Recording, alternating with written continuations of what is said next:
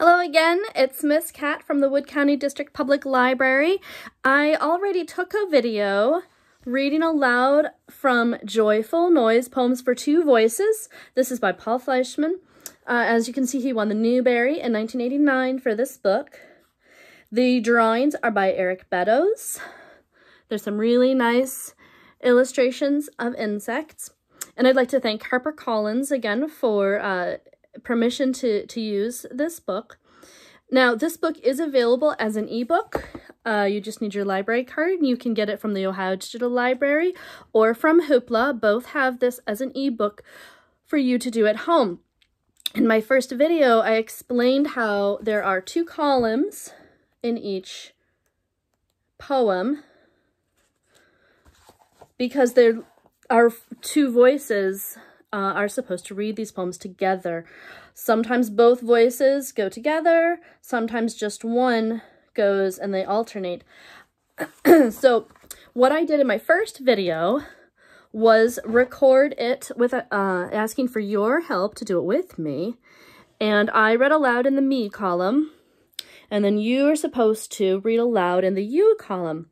So I thought I would do another video with myself, watching myself, to show you what it'll sound like so that you have a better idea of how cool this really is, these poems.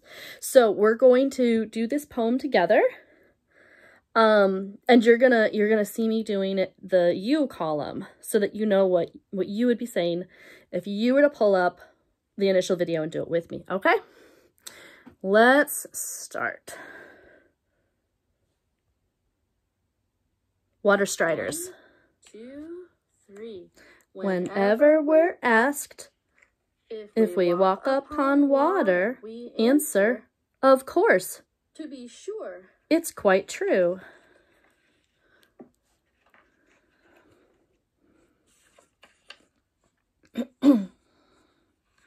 when, oh, we'll start again with one, two, three. Ready?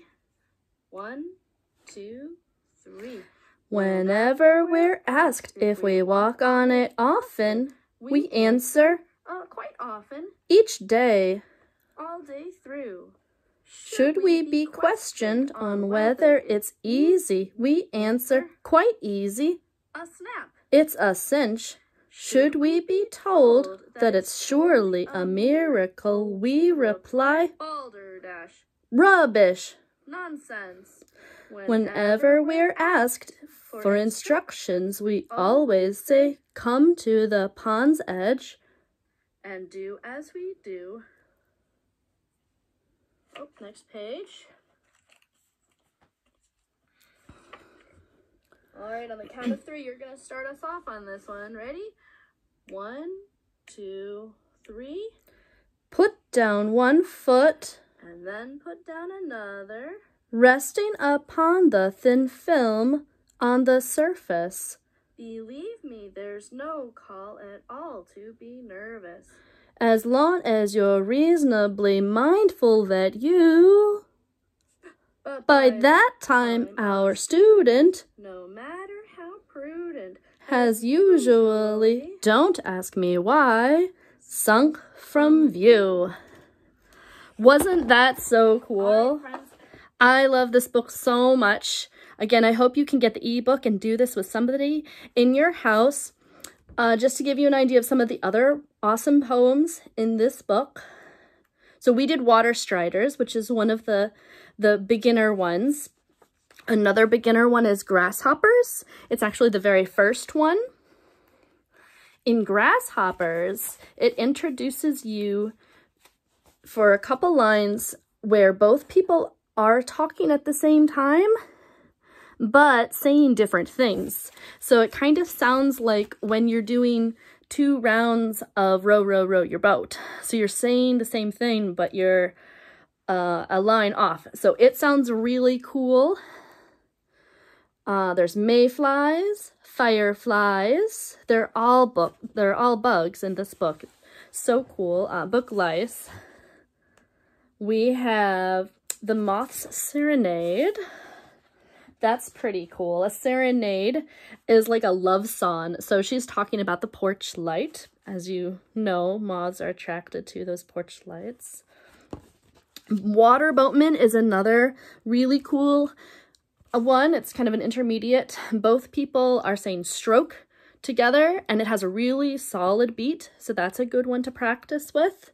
So both will say stroke and then somebody has another line and then they both say stroke and then the second person a line and they both say stroke and it goes back and forth. So there's a really good uh, parallel going on in that poem.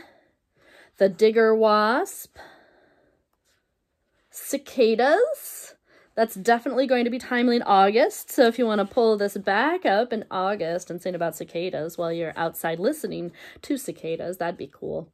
Honeybees is a really neat one.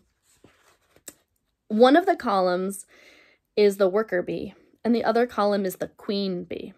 So when they speak together, they're about to start talking about the same type of thing for their daily activities, um, such as what it's like to be a bee or what time of the day it is for their activities.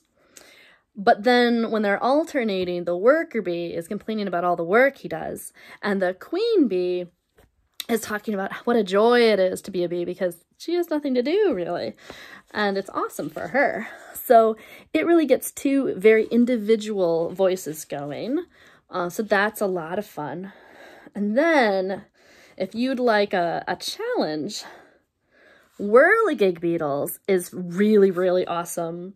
As you can see there's a lot more text and it has a bit of a faster rhythm to it so it really gets going back and forth. So when you get uh, some practice under your belt from the earlier poems, Whirligig Beetles would be really fun to do.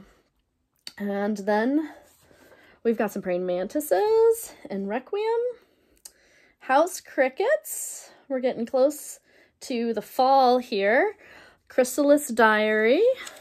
The whole book really kind of goes through the the spring, summer, and fall, and uh, how how insects live their lives through those seasons. So it's it's a really cool book um, to go front to back because it travels through time that way. And as you can see here, we see the chrysalis wintering over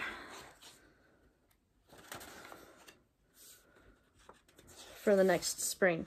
So it's, again, it is such a cool book. I really hope you can find this and enjoy it as much as me. Again, it's an ebook and uh, you just go to our website, wcdpl.org, if you need uh, to get connected for the, the ebook copy.